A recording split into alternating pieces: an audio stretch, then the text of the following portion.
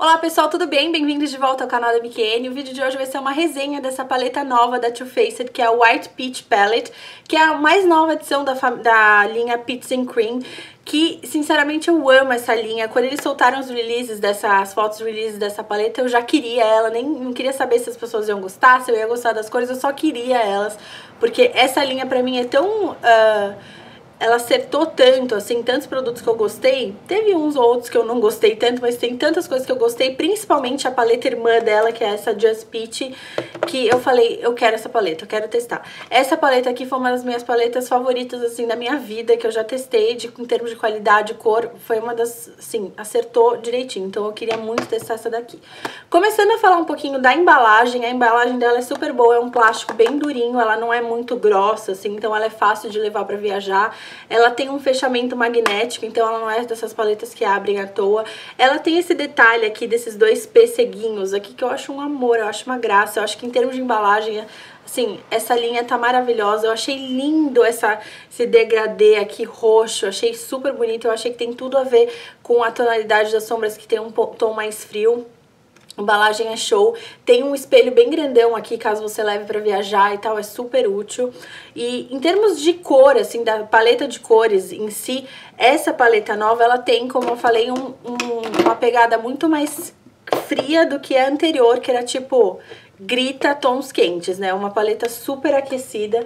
Então, essa daqui é para quem gosta de tons mais com subtons mais frios. Uh, em termos de qualidade das sombras, eu acho que tem algumas sombras aqui que elas não são, elas não são tão, a qualidade não é tão consistente como essa daqui, que todas as sombras são boas. Essa daqui, eu acho que tem algumas sombras que elas não são ruins, mas você tem que saber trabalhar com elas para elas funcionarem. Uh, em termos de cores, essa paleta aqui, ela tem quatro cores que não são mates, diferente dessa daqui, que é uma paleta só de mates. Essa daqui, ela vem com essas quatro cores mates, que é essa daqui mais roxinha, essa rosa, que foi a cor que me atraiu, assim, muito logo que eu vi, essa branquinha e essa daqui, que é mais uh, mais neutrinha.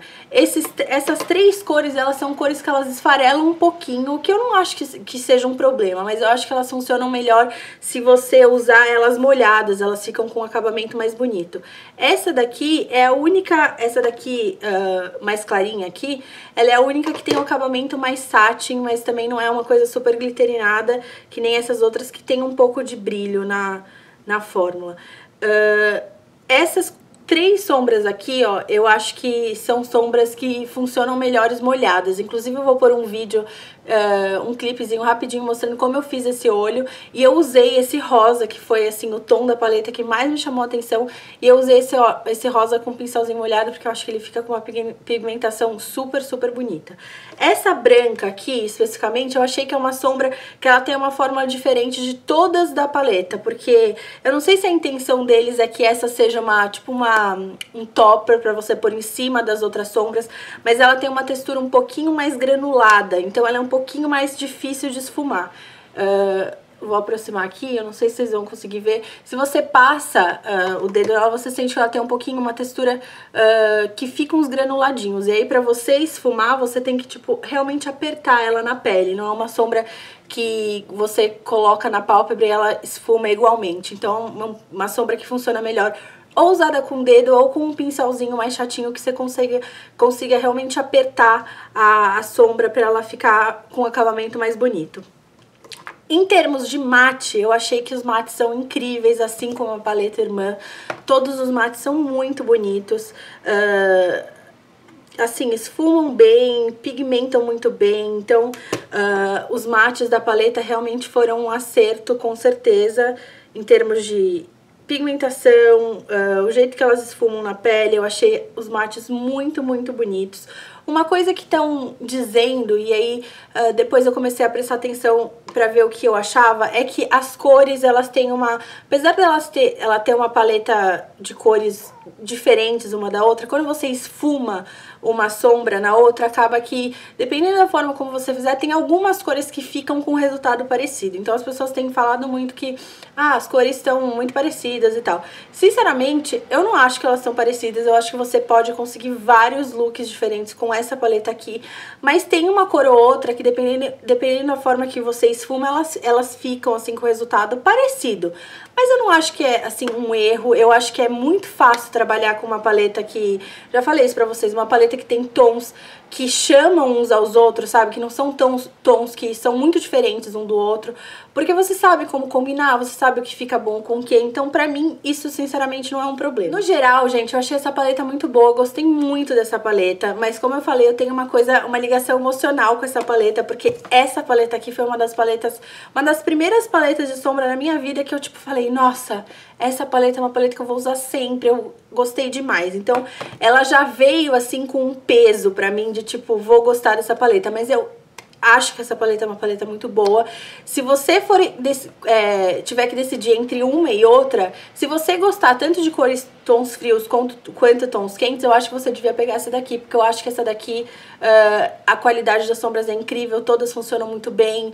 Enfim, é uma sombra, é uma paleta de sombras só mate, e é bom você ter paletas, assim, só mates, porque mate é uma sombra que você sempre usa no côncavo, sabe? Sombra shimmer, nem sempre você pode fazer o côncavo, então eu acho que essa paleta aqui ela é mais versátil nesse sentido. Porém, essa daqui eu achei uma paleta excelente. Se você gosta de tons frios, pode se jogar nesses tons que você vai gostar muito. Mesmo que você não goste muito da textura dessa daqui, que foi um pouco o que aconteceu comigo, eu tô ainda descobrindo como que eu vou usar essa sombra, porque sozinha eu uh, dificilmente uso ela. Eu tenho usado uh, sozinha, a única vez que eu usei ela sozinha foi assim no cantinho interno do olho, que foi o que eu fiz hoje. Mas não é uma sombra que eu uso muito.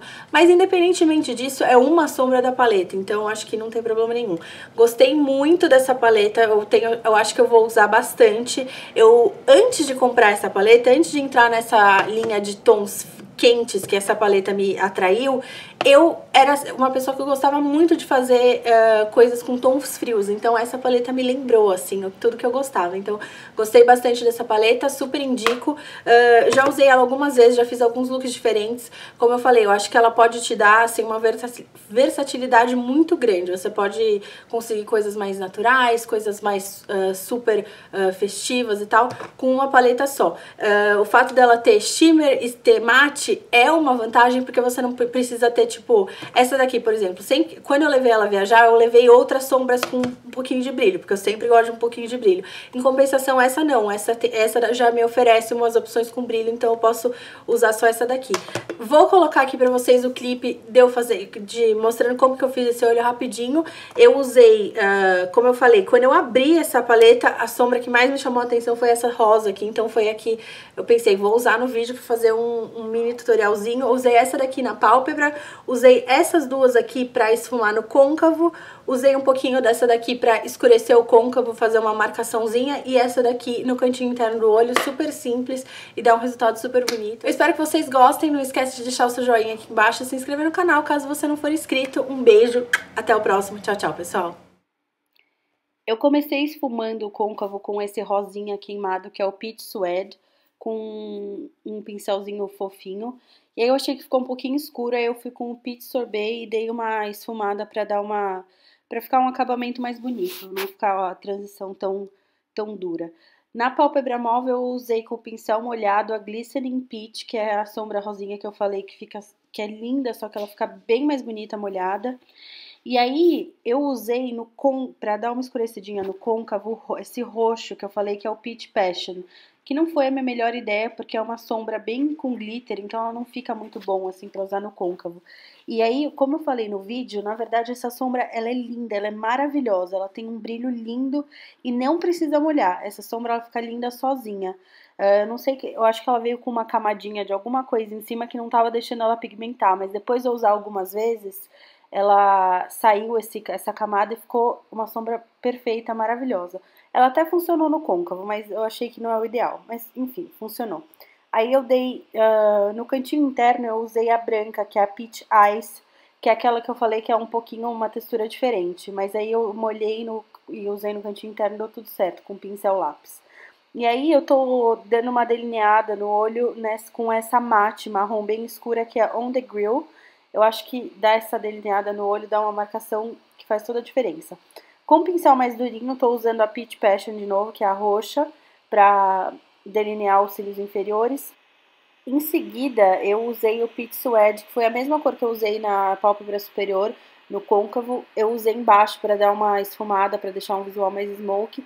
Em seguida, eu usei também o Pit Sorbet para dar aquele acabamento mais bonito também, que eu acho que uh, faz um degradê de cores que fica bem legal. Uh, em seguida, eu vou aplicar máscara, e eu sou bem extra para aplicar máscara. Eu uso um primer de cílios, que é um da Lancôme, que eu adoro, já falei sempre. Gosto de usar da It Cosmetics, que é bem fininha, que eu consigo pegar bem na base, porque eu consigo esconder o branco do primer. E aí, eu usei a máscara Monsieur Big da Lancôme, que também tô amando. E esse é o resultado final, bem rosinha e bem Barbie. Espero que vocês tenham gostado. Um beijo!